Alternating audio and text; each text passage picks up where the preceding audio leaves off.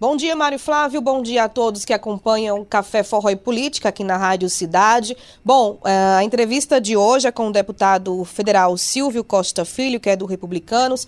Ele que está comemorando aí né, a duplicação da BR-423, a possibilidade dessa duplicação, onde liga a cidade aí de São Caetano a Garanhuns. Deputado, uma boa notícia, não é? Para os moradores dessa região, dessas cidades aqui no nosso Agreste. Bom dia, bem-vindo à Rádio Cidade. Olha, bom dia a você, bom dia meu amigo Mário Flávio, bom dia a todos os ouvintes.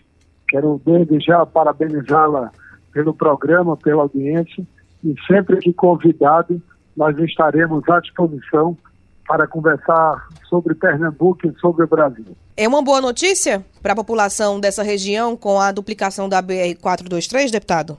Olha, sem dúvida. É, você sabe, Ana, quanto foi importante em toda a região do Agreste, sabe disso, a duplicação da BR-232. Nós tivemos o crescimento econômico da cidade de Vitória, da cidade de Gravatá, da cidade de Bezerros, Caruaru, São Caetano, sem dúvida alguma, a BR-232, que foi construída no governo Jarbas há mais de 20 anos atrás, ela foi fundamental para o crescimento da região e para o desenvolvimento descentralizado do nosso estado. E com a duplicação da BR-423, lembrando que nós é, iniciaremos agora no mês de julho, serão as serão é, os projetos e a partir desses projetos é que vai começar a parte de execução das obras. Uma região fundamental, agreste meridional é, e setentrional do nosso estado, é, vai atender bem a toda a região, desenvolver ainda mais Darinhos, Caepé e São João, Cachoeirinha, vai desenvolver toda a região é, como bom conselho. Então, ali você tem um grande potencial no turismo, a região, um potencial na bacia leiteira, um, um potencial na agricultura, na pecuária, no turismo de lazer e de negócio. E eu tenho muita confiança que depois dessa obra feita, a duplicação da 423, nós teremos, sem dúvida alguma, um crescimento da região, um escoamento da produção e vamos trabalhar para que a gente possa cada vez mais fazer com que Pernambuco cresça, se desenvolva e, ao final, gere emprego e renda para a população. Eu acho que é esse tem que ser, sim, o nosso foco e a nossa prioridade, retomar o emprego da população. É o emprego que traz dignidade, traz felicidade, traz oportunidade. E a, a obra em si, ela vai gerar emprego, mas eu acho que o que vem depois da obra é o crescimento na economia, na indústria, isso vai gerar mais riquezas da região do Agreste de Pernambuco. Ô, deputado, a gente sabe que desde o início né, do seu eh, mandato, o senhor vem lutando, tentando que essa duplicação aconteça aqui na região. Qual foi a sua participação né, nessa negociação e nessa boa notícia aqui para nosso Agreste Meridional? Teve reuniões com o prefeito Garanhuns, com quem mais, para que eh, esse projeto pudesse sair do papel? Olha, primeiro é importante dizer que essa obra ela é uma obra que teve uma construção coletiva. Né? O deputado Fernando Rodolfo ajudou, os deputados federais do nosso estado ajudaram é, nessa construção. E é importante que a gente possa registrar o diálogo que houve também do governo do estado com o governo eh, federal. Né? E foi um movimento que foi construído de forma coletiva. É, eu tive a oportunidade, você sabe disso, de desde o primeiro momento, né, ainda em 2019, quando eu assumi o mandato de deputado federal, com confiança do povo de Pernambuco, eu disse publicamente, né, ainda na campanha eleitoral de Garanhuns em toda a região, que uma das nossas prioridades seria duplicar a BR-423.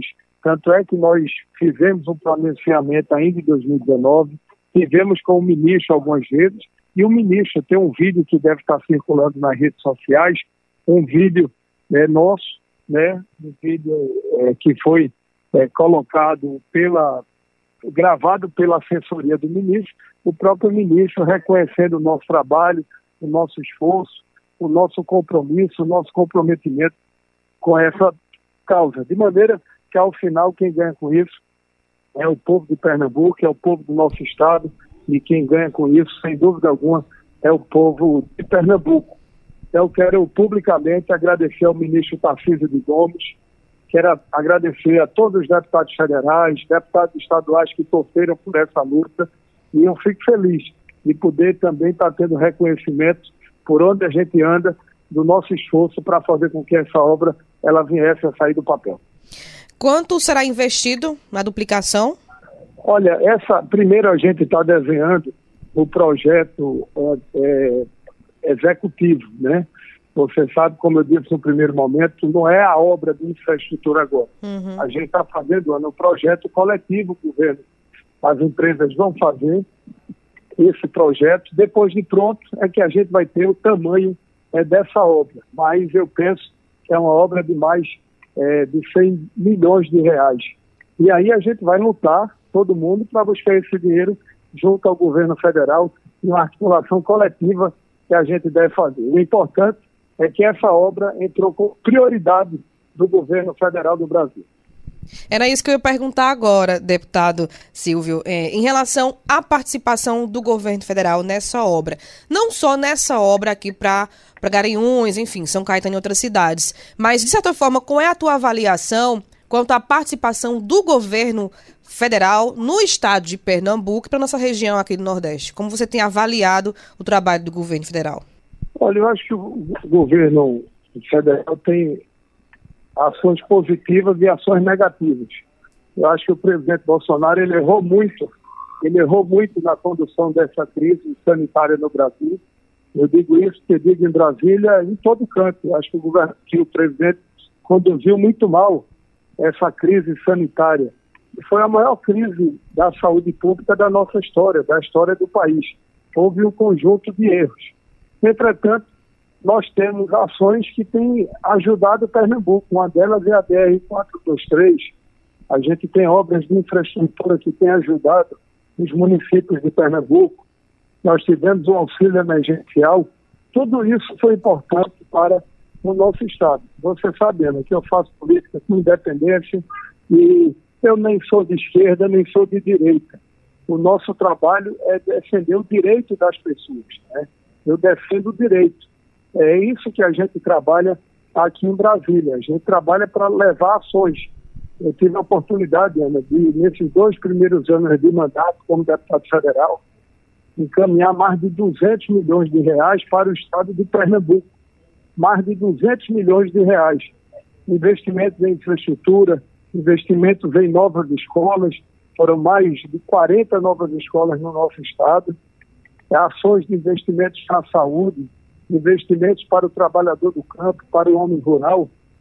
E tudo isso tem saído do papel, são ações que têm melhorado a qualidade de vida da população.